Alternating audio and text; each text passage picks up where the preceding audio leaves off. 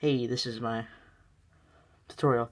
So the first thing you want to do is come over here, press R, get this, and then quickly press the green flag. Now you already start with the, or you got to do it quicker, I guess.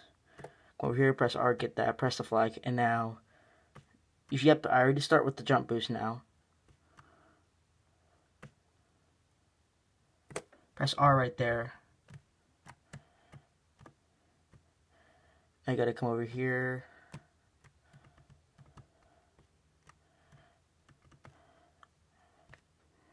Press R, press R twice. Press R, then jump. Press R, press R again.